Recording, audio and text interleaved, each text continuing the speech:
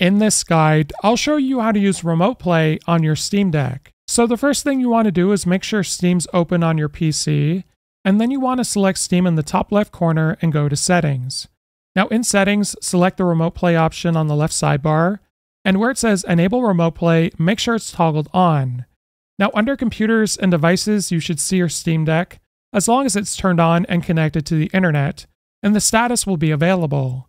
So I recommend you have a look at the advanced streaming options, as if you have a fast PC and fast internet, you'll be able to use the higher end of these options, whereas if you have a slower PC and slower internet, you'll likely have to adjust these settings so that they're lower and it runs okay.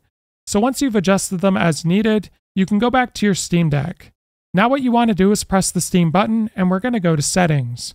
Now under Settings, you want to scroll down and look for the Remote Play option, and once you find it, you want to ensure it's toggled on, as well as you should be able to see your PC under Computers and Devices.